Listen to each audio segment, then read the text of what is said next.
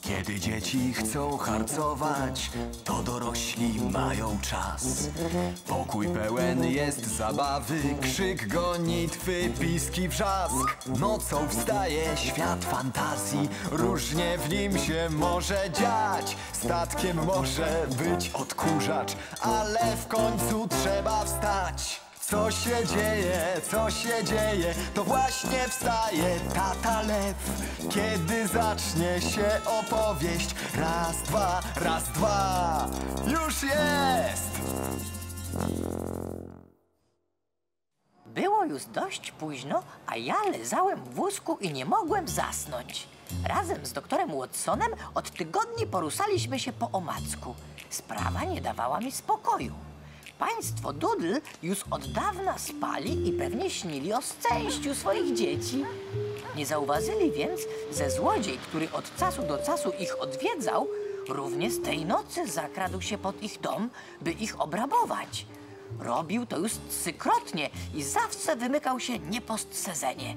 Próbowałem połączyć wszystkie fakty, ale wynik stale się nie zgadzał.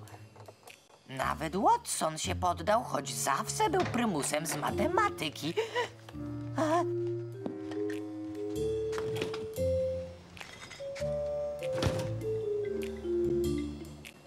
Ręce do góry! Proszę to natychmiast odstawić na miejsce! Znam cudo! Filipie, przestraszyłeś mnie. Mama, co ty robisz o tej porze w kuchni? Chciało mi się pić. Jesteś pewna, że poza tobą nikogo tu nie ma? Włamywacza lub kogoś takiego? Włamywacza? A, już rozumiem. Nie powinieneś przed snem czytać kryminałów. Od tego przychodzą do głowy dziwne myśli. E, chcę zostać superdetektywem, mamo. Nie dziś. Odłóż to do jutra.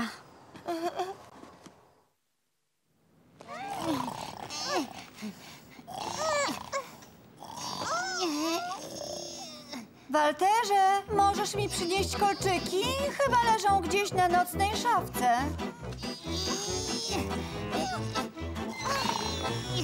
No razem! Już! Walterze, słyszałeś? Moje kolczyki. Nic z tego, śpi jak suseł. Mam sposób.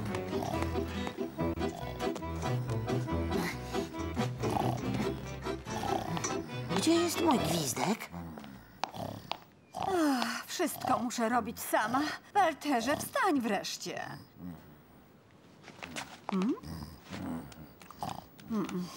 Mamo, tato, stało się coś straszliwego. O! O! Nie ma mojego kocyka.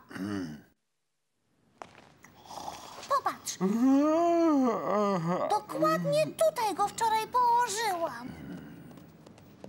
Mój gwizdek też gdzieś przepadł i na pewno nigdzie go nie położyłem, bo zawsze noszę go przy sobie. O, a więc jednak wiedziałem. Co wiedziałeś? Ktoś tu był dziś w nocy, bracisku. O, co ty? Orety, kto? Włamywacz. W nocy, gdy spokojnie spaliśmy, niczego nie przecuwając, jakiś podły łotr zakradł się do mieszkania. Ale jak udało mu się wejść? Tata co wieczór zamyka drzwi. Może miał wytrych. To taki rodzaj uniwersalnego kluca. Albo wszedł przez okno, y, po drabinie. Aha, ale to przecież...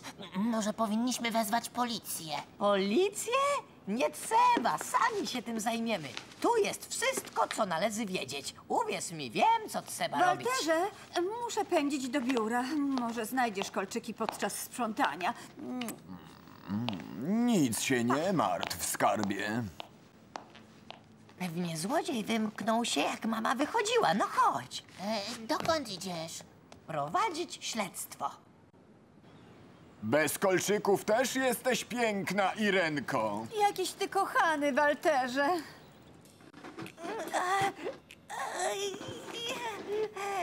Po co nam kakao, Filipie?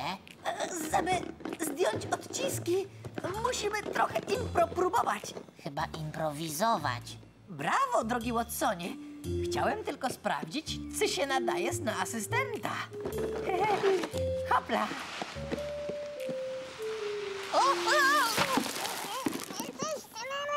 Oj, No, kto ma ochotę na spaghetti? Ja dziękuję. Dopóki nie odzyskam gwizdka, nie będę niczego jadł i koniec. Mm, Ja też. Ten kocyk był dla mnie wszystkim.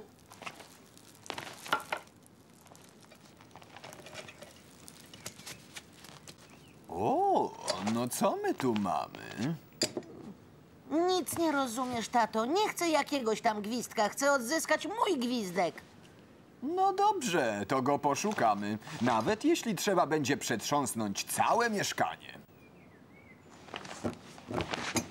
Hopla! Hop! Wszyscy wsiadać!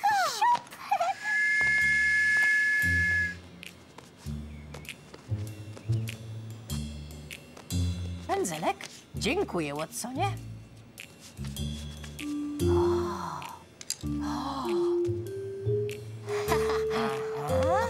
Są ślady lwa.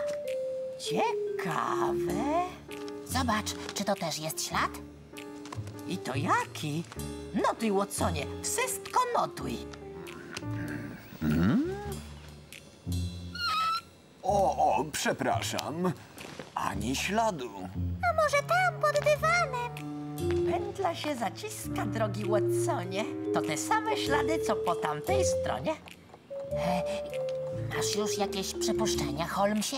Owszem, sądzę, że tu się nikt nie włamał. Co? Jak to? Ponieważ złodziejem jest ktoś z nas.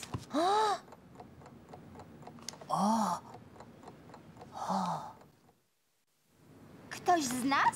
Co ty wygadujesz? Już dawno nie słyszałam większej bzdury. Mamy niezbite dowody. Te ślady znaleźliśmy w dwóch różnych miejscach przestępstwa. O? To na pewno nie byłam ja. Całą noc spałam, daję słowo. Ja też. I ja. Ja, ja byłem tylko w toalecie. Ach tak, w toalecie. O co chodzi? Chyba nie myślicie. Przecież sam zostałem okradziony. Może specjalnie ukryłeś swój gwizdek, żeby odwrócić od siebie podejrzenie. No też coś. Niczego nie ukradłem. No, no, powiedzmy. Chwileczkę. Każde oskarżenie niepoparte dowodem jest niewiele warte. Jestem pewien, że Pawełek mówi prawdę. To bardzo łatwo udowodnić. Chodź, Watsonie. Ech, co za pomysł. Zaczynamy. Imię? Pawełek. Czy to prawda, że dzisiejszej nocy chodziłeś po mieszkaniu? Przecież już mówiłem. Byłem w toalecie. Proszę odpowiadać krótko, tak albo nie. Tak. Teraz już wszystko rozumiem. A więc dlatego Filip bawi się w tego detektywa. Pies z Dogville, czarownice z Witchtown, trzy krzyżyki. Chwileczkę, trzy krzyżyki? Chyba trzeba poznać bliżej tę opowieść. Mój guzik od spodni. Szukam go już od tygodni. A ty po wyjściu z toalety od razu wróciłeś do łóżka? Tylko krótko, tak czy nie? Tak, to znaczy w zasadzie nie. Jak? No więc zjadłem jeszcze parę fistaszków. A potem zabrałeś kocyk Frani i kolcyki mamy. Zgadza się? Nie.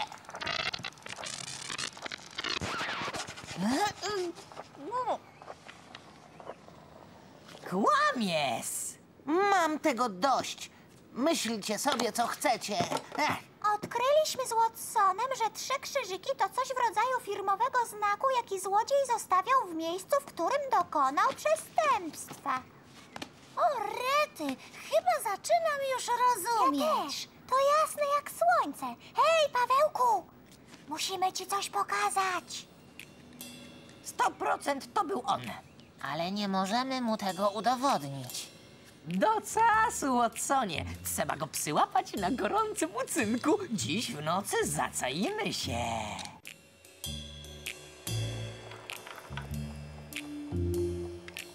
Cisza. Nic się nie dzieje. Cierpliwości. Dobry detektyw musi umieć czekać. Będziemy się zmieniać. Dwie godziny ty, dwie godziny ja, dwie godziny... Dobra. Filip?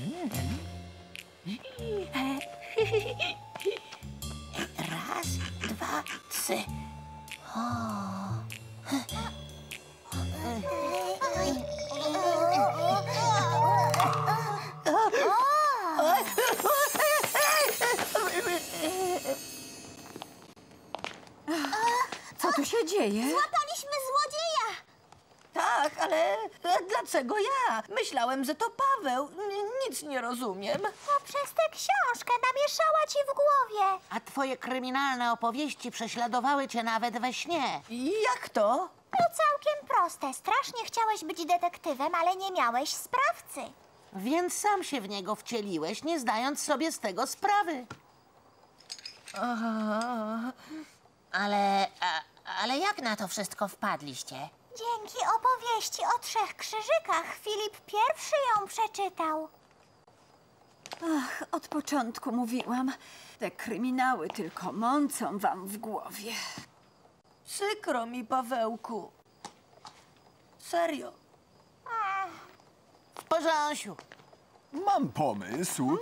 Skoro Filip tak lubi czytać, to może mógłby y, w formie małego zadośćuczynienia w końcu i tak wszyscy nie śpimy. I wtedy, gdy królewna Śnieska ukłuła się w palec, całe królestwo zapadło w sen na sto lat. Jednak pewnego dnia nadjechał dumny książę o złocistych lokach. Opracowanie Telewizja Polska, Agencja Filmowa. Reżyseria Andrzej Bogusz. Dialogi na podstawie tłumaczenia Krystyny Żuchowicz, Grażyna Dyksińska. Dźwięk Jakub Milencki. Montaż Zofia Dmoch. Tekst piosenki Krzysztof Rześniowiecki. Opracowanie muzyczne Eugeniusz Majchrzak.